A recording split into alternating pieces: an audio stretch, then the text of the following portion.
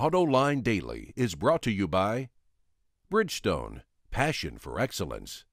Dow Automotive Systems, improving durability and increasing design flexibility with Betamate structural adhesives at dowbetamate.com. And by Hyundai. Experience the 2011 Hyundai Sonata today at hyundaisonata.com. This is Autoline Daily for December 22nd, 2010, and now the news. Cerberus pretty much lost its shirt when its founder Stephen Feinberg bought Chrysler from Daimler. But now Bloomberg reports the investment company is going to recoup close to 90% of that investment by selling Chrysler's finance arm. In fact, a lot of analysts said at the time that the finance arm is the real reason why Cerberus bought Chrysler. It paid $7.4 billion for the automaker in 2007. It will sell the finance arm in a deal worth about 7.1 billion. At the time, Feinberg said he was trying to save an American icon and preserve jobs for the working man. But all Cerberus did was slash new product development, cheapen up the interiors, and drive Chrysler into the ground. When billionaire investor Warren Buffett bought a chunk of Chinese automaker BYD, it made headlines around the world. Buffett paid $84 a share, that's Hong Kong dollars, but today those shares are down to $42. In other words, the $230 million he poured into BYD is now worth 115 million. Yet Reuters quotes Buffett as saying he's still confident he'll ultimately turn a profit because of BYD's technology in electric cars and buses. But you know, sounds like a variation of an old joke. How do you make a small fortune in the auto industry? Start with a big fortune. Honda successfully completed the first flight test of its small business airplane called the HondaJet. Conducted at North Carolina's Piedmont Triad International Airport, the HondaJet remained in the air for 51 minutes while its flight characteristics and performance were analyzed and systems were checked. This was the first step for the company to receive certification from the Federal Aviation Administration. Honda must complete more tests before the jet is cleared for takeoff and has a total of five planes to get that certification. Honda plans to start building the HondaJet in mass production in 2012 at a yet to be finished facility in Greensboro, North Carolina, and already has 100 orders for the plane. What's it cost? A mere $4.5 million. Earlier in the week, we reported that Volkswagen wants to be number one in China in electric vehicles as part of its effort to become the number one automaker in the world, surpassing Toyota. And now the company will expand in Malaysia to help reach its goal. According to Bloomberg, VW will start building Passats in the country next year. Malaysian automaker and distributor DRB HICOM will assemble the vehicles, which already does assembly for Mercedes Benz and Honda.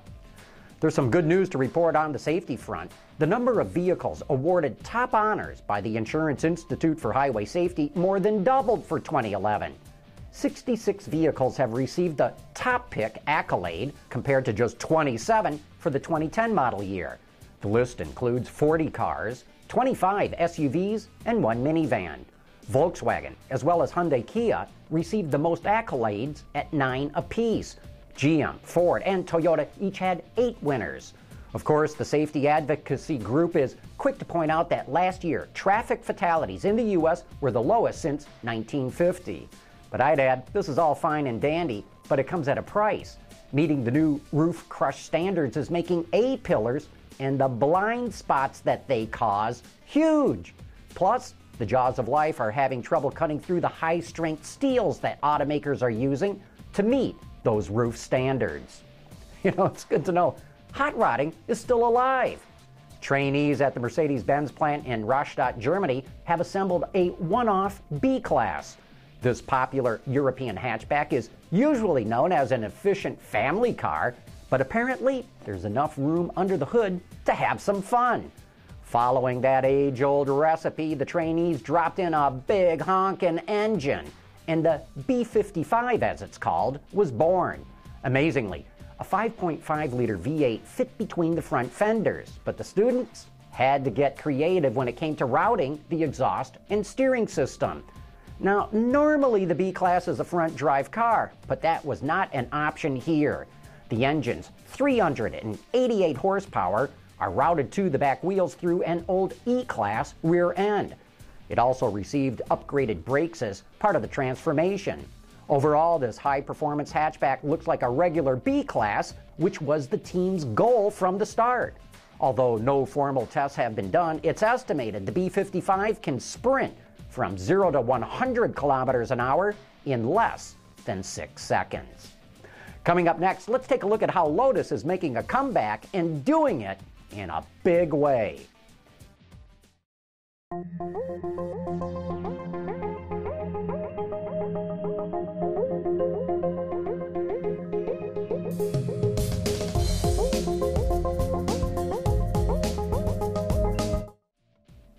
At the LA Auto Show a month back, we got a chance to catch up with the folks at Lotus. If you watched or listened to our podcast at the show, you know that we interviewed the new CEO of Lotus, Dany Bahar.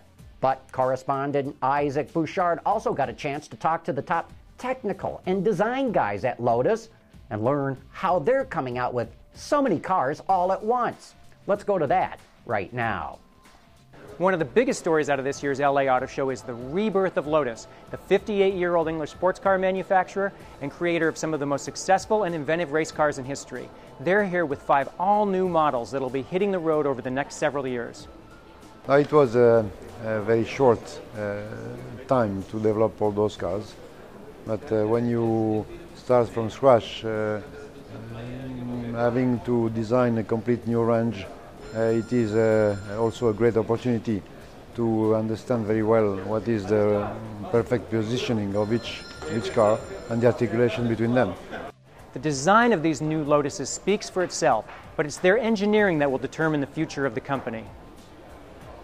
Of course, if you look to these different cars, it's like that that we want to do a, a commonality between these cars. So we will use in each car, more or less, except of course the Elise, the same powertrain. So the powertrain means that we have uh, same engine, same gearbox. The front mid-engine cars will have, of course, a torque tube in between. Uh, we will use the same electronic platforms and uh, suspension works. So of course they have a different body style and they have a different, uh, let me say, uh, a purpose. Of course, the Esprit is a different car like uh, an Elite, but from the from the technical side, these cars are really the same. Uh, uh, out of out of all these technical terms, you know. And uh, what we do is, of course, a different interpretation of the of the powertrain and of these, let me say, hybrid stuff that we can run each car for, for its purpose and for its usage. Why did Lotus make such a big splash? Two reasons. First, statement of intent we're back. Second, to show five new cars in context, not only to their competitors, but within the lineup itself. From the LA Auto Show, I'm Isaac Bouchard for Autoline Daily. It is mind blowing that Lotus will come out with five new cars. You know, when I went over to the Lotus display, I ran into Jaguar's top designer, Ian Callum, who was shaking his head in wonder at five new models. He told me, I don't know how they'll do it. Well, we'll know if Lotus can pull it off in the not too distant future. Hey, don't forget to tune in to Autoline After Hours tomorrow night we're going to be handing out presents for the best automotive happenings in 2010 and lumps of coal for the worst. You got any suggestions? We'd love to hear them. Just email them to viewermail at autolinedetroit.tv. And that brings us to the end of today's report on the top news in the global automotive industry. Thanks for watching. We'll see you tomorrow.